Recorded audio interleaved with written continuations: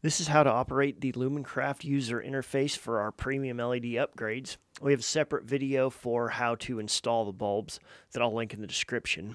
By default, the bulb has three modes, low, medium, and high. For changing the modes, the method I prefer is using the half press function of the maglite switch. This means rather than clicking it and locking it into place, we're just lightly going to press the switch until the light comes on. To change modes, I just lightly press till the light comes on and then quickly let off and back on again. Do this until I find the mode that I'm looking for. And then once I've found it, I lock the switch in.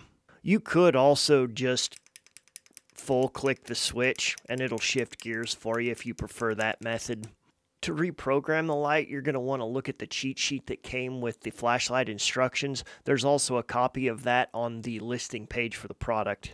You just want to look up the group that's most appealing to you and then check the corresponding number for that group. Say, for example, I wanted to have a group that has strobe in it.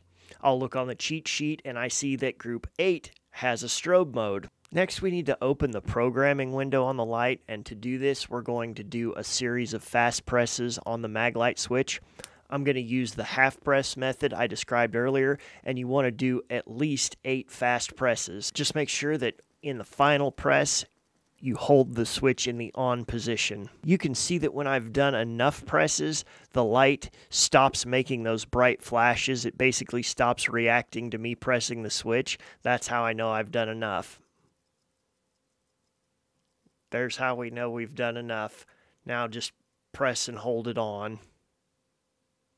That flashing indicates we have opened the programming window. Next, we want to immediately input our group number, which is 8 in this case.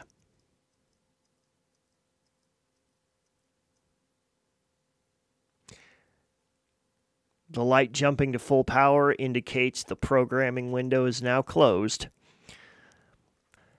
Now, if I've done this correctly, we should have a high mode and a strobe.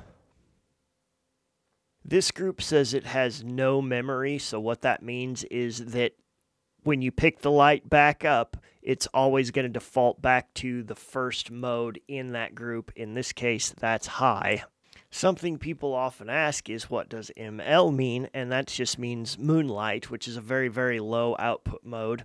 Uh, if we wanted to have a group that had that in it, I can look on the cheat sheet here and see that uh, mode group 12 has that moonlight in it. Let's try programming to that. I'll repeat my series of eight fast presses. And then next, I'll want to do my 12. 1, 2, 3, 4, 5, 6, 7, 8, 9, 10, 11, 12.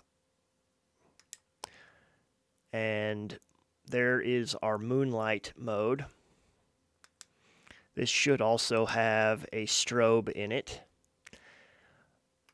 This group happens to have a memory function. So if you leave the light off for a certain number of seconds, it has off time memory, and then come back and pick it up later, it will memorize whatever mode you last left it in so you can come straight back to strobe if that's what you want. The light also has a turbo timer function, which will just limit the amount of time your light can remain at maximum power. To operate that, we need to enter the programming window once again, doing at least eight fast presses.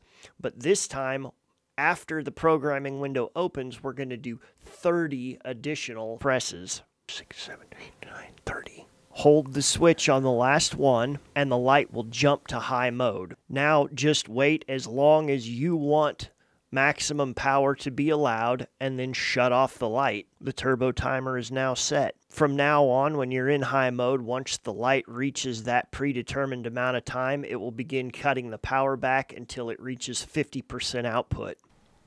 For this example, I set the timer to come on after only a few seconds.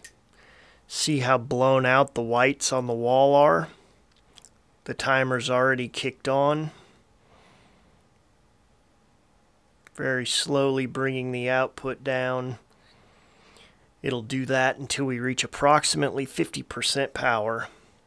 Now you can see the lower power. You can see everything on the wall. I'll jump it back up to maximum. And then already it's bringing it down again.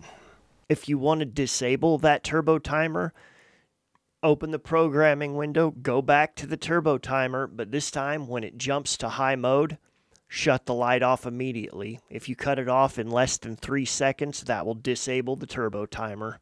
If you have any questions, feel free to reach out to us directly. We're always glad to help. Thanks for watching, guys. I appreciate your business.